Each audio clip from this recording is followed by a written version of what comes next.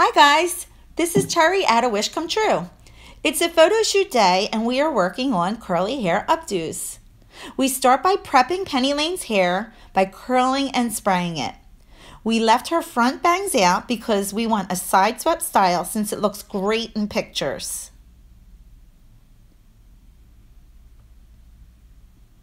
Next, we pull it up in a high tight pony and pinned her bangs back.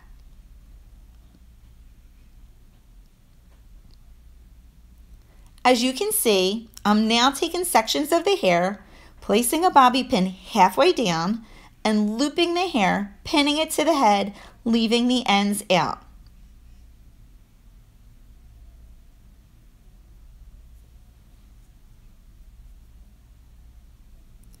Work your way around the head, looping and pinning.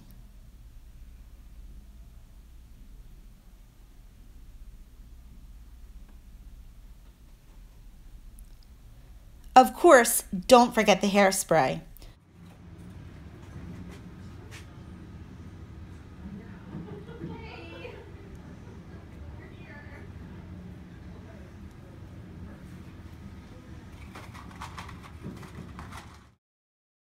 Once all the sections are secure, we can work on the ends. It's just a simple tuck and pin, working your way around the head just like before.